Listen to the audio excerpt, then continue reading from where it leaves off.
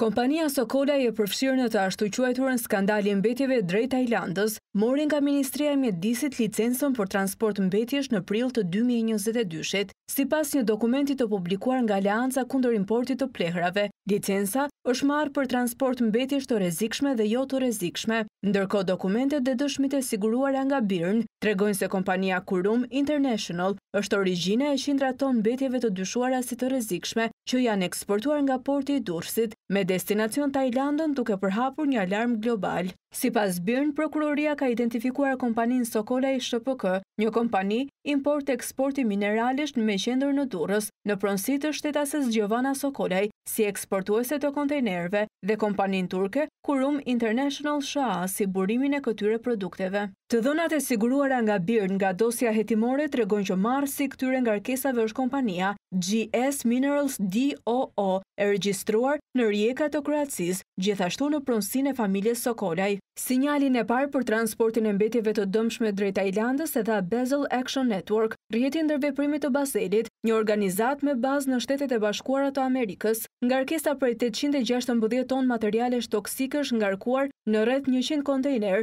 dhe është nisur nga porti i Durrësit në muajin qershor me destinacion Tajlandën. Autoritetet atje kanë thënë se dërgesa do të kthehet mbrapsht në Durrës, por kjo nuk është ngarkesa e vetme. Një tjetër ngarkesë e tillë e nisur po nga Durrësi, me njëqind e pesëmbëdhjetë kontejnerë, dyshohet se është bllokuar në portet kineze.